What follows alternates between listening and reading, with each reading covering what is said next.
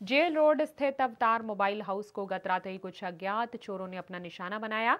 घटना संबंधी जानकारी देते हुए दुकान के मालिक प्रितपाल सिंह ने बताया कि उन्हें किसी अज्ञात व्यक्ति का फ़ोन आया कि उनकी दुकान में चोरी हो गई है, जिसके बाद वे तुरंत अपनी दुकान पर पहुँचे, जहाँ उन्होंने देखा कि दुकान के ताले टूटे हुए थे और दुकान का सामान गायब था।